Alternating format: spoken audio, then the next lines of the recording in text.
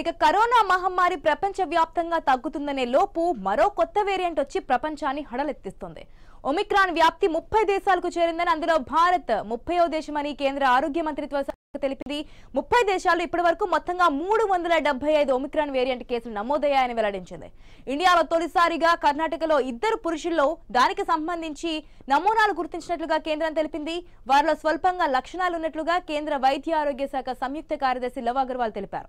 దేశంలో కరోనా జన్యు క్రమాన్ని విశ్లేషించే కమర్ కాన్సెర్షియం ఇన్సాకోగ్ ఈ కేసులో గుర్తించామన్నారు. కర్ణాటకలో వెలుగు చూసిన ఒమిక్రాన్ కేసులకు సంబంధించి ఒకరు దక్షిణాఫ్రికా వాసి కాగా మరొకరు బెంగళూరుకు చెందిన వ్యక్తిగా బెంగళూరు మహానగర పాలికే చీఫ్ కమిషనర్ గౌరవ్ గుప్తా తెలిపారు. నవంబర్ ఇరవైన నగరానికి వచ్చిన దక్షిణాఫ్రికా వాసికి ఆర్టీపీసీఆర్ పరీక్షలో పాజిటివ్ తేలడంతో నేరుగా ఓ హోటల్లో క్వారంటైన్ చేసినట్లుగా గుప్తా వివరించారు.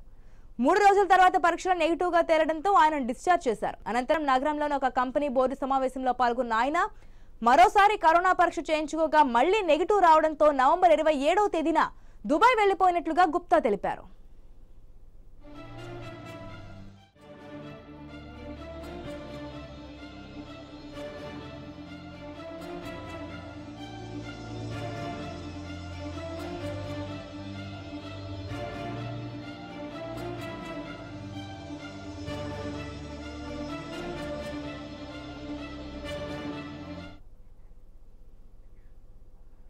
రెడ్డికి ఒమిక్రాన్ వ్యాప్తికి సంబంధించి ఇంకా ఎటువంటి ప్రమాదం ఉండబోతుంది? అసలు ప్రమాద స్థాయి ఏ ఎంతవరకు ఉందనేది మా కొలీగ్ శిరీష అడిగి తెలుసుకుందాం. ఎస్ శిరీష చెప్పండి ఈ ఒమిక్రాన్ అనేది ఇప్పటి వరకు మన దేశంలోకి రాలేదని చెప్పి సేఫ్ జోన్లో ఉన్నామని చెప్పి అందరూ ప్రశాంతంగా ఉన్న తరుణంలో ఇప్పుడు ఒమిక్రాన్ మన దేశంలోకి వచ్చింది. పక్క స్టేట్ కర్ణాటకలో రెండు కేసులు వచ్చినట్టుగా మనకు తెలుస్తుంది కదా. దీని ఎఫెక్ట్ ఎంతవరకు ఉండబోతుంది? వాతావరణ సారీ ఆరోగ్య శాఖ మంత్రులు కానీ ఇటు రెండు రాష్ట్రాల సీఎంలు కానీ ఏం చెప్తున్నారు?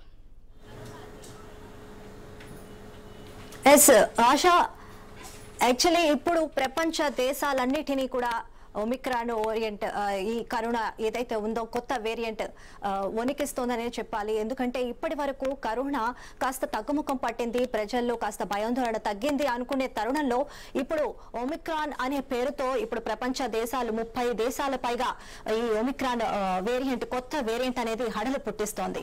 ప్రస్తుతం భారత్ ముప్పై స్థానంలో నిలిచింది. అయితే ఈ ఒమిక్రాన్ వేరియంట్ అనేది కర్ణాటకలో నిన్న తాజాగా మనం చూసుకుంటే తాజా పరిస్థితులను కనుక మనం గమనించినట్లయితే రెండు కేసులు నమోదైనట్లుగా గుర్తించారు. అయితే ఈ కొత్త వేరియంట్ కోసం అంటే ముందు ఆ, పరీక్ష నిర్వహించారు.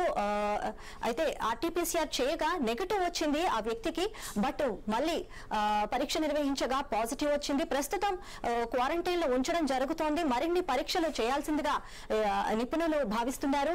అయితే ఈ కొత్త వేరియంట్ పై పరిశోధనలు మరిన్ని జరపాల్సిన అవసరం ఉంది.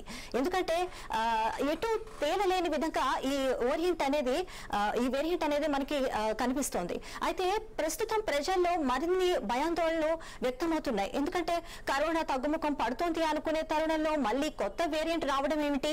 అసలే ఆర్థికంగా వ్యాపారులు అటు విద్యా సంస్థలు అలాగే బంగారం గాని ఇంకా వాణిజ్య సంస్థలు గాని వాణిజ్య పరంగా కూడా చాలా వరకు అన్ని కూడా దెబ్బతిన్న తరుణంలో మళ్ళీ కోలుకుంటున్నారు. నెమ్మ నెమ్మదిగా నెమ్మ నెమ్మదిగా కోలుకుంటున్న తరుణంలో అన్ని కోలుకుంటున్న తరుణంలో ప్రజల్లో మళ్ళీ భయాందోళన నెలకొనడం నిజంగా నిజంగా అసలు హడలెత్తిస్తున్నారు.